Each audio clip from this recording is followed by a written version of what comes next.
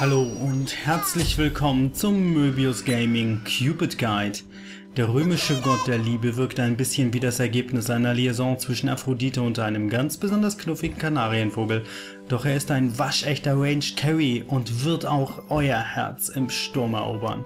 Und die Fähigkeiten dazu stelle ich euch jetzt einmal vor. Seine passive Ability heißt Love Struck und sorgt dafür, dass mit jeder Standardattacke ein Buff hochstackt, der Heilung und Schaden aller seiner Fähigkeiten um 3% verstärkt. Cupid kann maximal 10 Stacks davon sammeln und wenn er diese dann voll hat, werden Heartbomb und Fields of Love auf Detonation ihre Ziele für eine Sekunde lähmen. Es ist immer toll, wenn man dafür belohnt wird, dass man tut, was man ohnehin tut und so sammeln sich die Stacks von ganz alleine. Besonders im Late Game, wenn man eine hohe Angriffsgeschwindigkeit hat, ist der Buff schneller wieder oben, als man gucken kann. Fähigkeit Nummer 1 nennt sich Heartbomb und könnte so auch im Arsenal von John Rambo vorkommen, denn es handelt sich trotz aller niedlichen Umschreibungen um einen Pfeil mit zeitgesteuerter Sprengladung, der nach 3 Sekunden explodiert und im Umkreis von 20 Fuß physischen Schaden anrichtet. Dieser Butter- und Brotskill kann und wird euch etliche Kills bescheren, sei es dadurch, dass ein getroffener Gegner zu nah an halbtote Teammitglieder herangeht und der AOE-Effekt diese dann zurück in die Warteschleife der Telekom befördert oder weil ihr mit 10 Stacks von Love Struck fliehende Gegner lähmt, um sie dann mit Razor zu behaken. Hardbomb ist fast zu schade, um damit zu farmen, aber halt nur fast. In Slot 2 finden wir Scherzelov, der aus jedem Tag Valentinstag und euch zum neuen Dealer an der Straßenecke macht. Denn Cupid wirft drei quietschig leuchtende Herzchen auf den Boden, die aufgesammelt ein paar Leben wiederherstellen. Das Tolle daran ist, dass ihr Mana wiederbekommt, wenn eure Gruppenmitglieder und nicht ihr selbst sie aufsammelt. Die Heilung von Cherselov hat mit Plankton aus Spongebob und dem Saarland eine Gemeinsamkeit. Sie ist im Vergleich zu anderen Mitgliedern ihrer Art erheblich kleiner. Das ändert aber überhaupt nichts daran, dass alle sie lieben und von euch gerade in Assault erwarten werden, dass ihr sie auf Cooldown haltet. Wofür ihr allerdings auch mit mehr Mana belohnt werdet, als das Casten der Fähigkeit euch kostet. Also, share the love. Ability Nummer 1 heißt Flutter und hat mit Fluttershy von My Little Pony genau folgendes gemeinsam.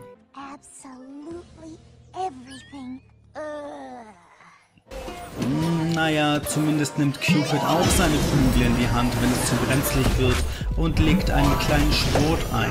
Der knuffige Part Gottes hinter ihm lässt verbündete Götter schneller laufen und Cupid bekommt für 6 Sekunden einen Bonus auf seine Angriffsgeschwindigkeit. Ihr werdet Flutter einfach lieben, denn damit kann man aus dem Pull von Hades, dem Feuerregen von Agni, dem Geschosshagel von Anhur und sogar dem Kraken von Poseidon entkommen. Cupids Ult heißt Fields of Love und ist wieder einem Euphemismus zum Opfer gefallen, denn Namen wie zeitgesteuerte Massenvernichtungswaffe machen sich nicht so gut unter Frischverliebten. Dabei ist Fields of Love genau das, denn in einem großen Feld werden Gegner um 35% verlangsamt, erhalten einen Küppeleffekt und werden nach ein paar Sekunden in die Luft gesprengt. Wer das überlebt, erhält einen 2,5 Sekunden anhaltenden Mesmerize-Effekt. Ja, zeitgesteuerte Massenvernichtungswaffe findet mit Sicherheit einen Absatz. Natürlich kombiniert man diese Ult am besten mit der von Hades oder Ares, wobei sich gerade die Hades Ult sehr anbietet, weil der Krüppel-Effekt von Fields of Love das Fliehen daraus erschwert. Wenn solche Kombis nicht verfügbar sind, reicht auch ein Stun von Heartworm oder der Frostbreath von Ymir bzw. ein Engpass im Jungle oder dergleichen. Schauen wir uns jetzt aber einfach einmal die Items an. Death macht sich gerade in Assault und Conquest zu Beginn sehr gut, denn für Mana und Leben auf Hit gibt es manchmal keinen Ersatz. Die Angriffsgeschwindigkeit kommt den Stacks von Lovestroke auch entgegen. Und ebenfalls gibt es kaum Alternativen zu den Warrior Tabi, die wir in Slot 2 packen können. Mit ihrem Bonus auf Penetration und Physical Power sowie Angriffsgeschwindigkeit. Slot Nummer 3 füllen wir mit The Executioner, der zusätzliche Rüstungsverringerung auf Treffer, Angriffsgeschwindigkeit und Physical Power bietet.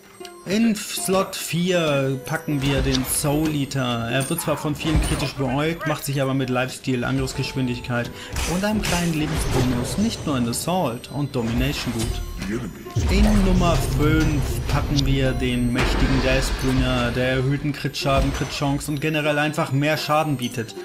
Zu guter Letzt nehmen wir noch Rage mit, das Angriffsgeschwindigkeit, noch mehr Crit-Chance sowie einen hochstackenden Bonus auf Crit-Chance bietet. Dieser Item-Bild ist sehr generell gehalten und je nach Situation sind zum Beispiel Titan's Bane und Quint's Blades auf keinen Fall außer Acht zu lassen. Als Active Ability Nummer 1 gehen im Zweifelsfall die Purification Beat mit ins Gefecht. Sie helfen dem Engelchen mit Hang zum promiskuitiven Anstiftungsverhalten aus der Ult von Ares, Mummification von Anubis und dem Frostbreath von Eisriesen Ymir. Und in Slot 2 kann je nach Gusto mit Sprint ähm, ausgestattet werden zur Flottenflucht oder ein Assault kann auch Meditation reingenommen werden. Auch das Eye of Providence ist eine Überlegung wort, ähm, wert, damit ihr keine Gegner auf der Map überseht und plötzlich gegankt werdet und die Flatter machen müsst.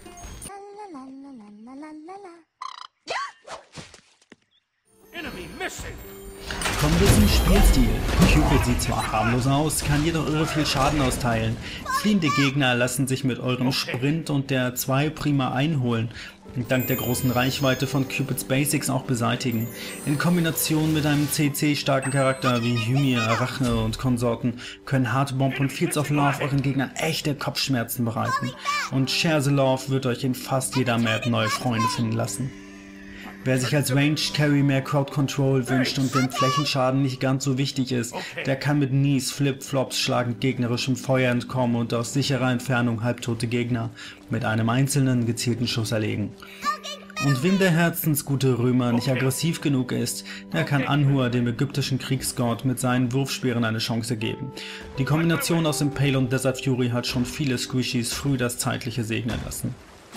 So sind wir nun auch schon wieder am Ende angekommen. Ich hoffe der Guide hat euch gefallen. Wenn ja, vergesst nicht uns zu liken und für weitere Guides zu abonnieren. Ich gehe jetzt erst einmal mit den anderen Ponys auf der Wolkenweide etwas Regenstaub schnüffeln und hoffe wir sehen uns schon bald wieder. Bis dann, euer Leo Fair von Möbius Gaming.